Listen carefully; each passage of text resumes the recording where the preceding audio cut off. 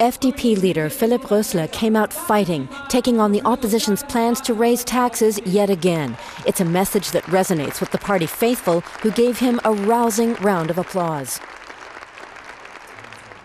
EU taxes, gas taxes, a green energy tax, plastic bag tax, sugar tax. That's what the Greens and Social Democrats want. Germany needs a party that knows it's the middle class that ensures our prosperity. They need relief.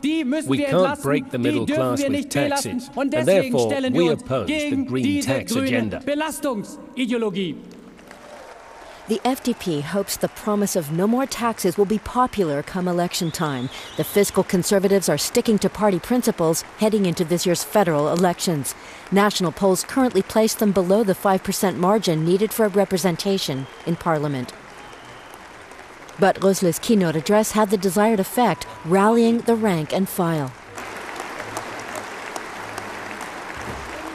Philipp Rösler has proved his leadership skills. He's shown that the FDP is strong and ready.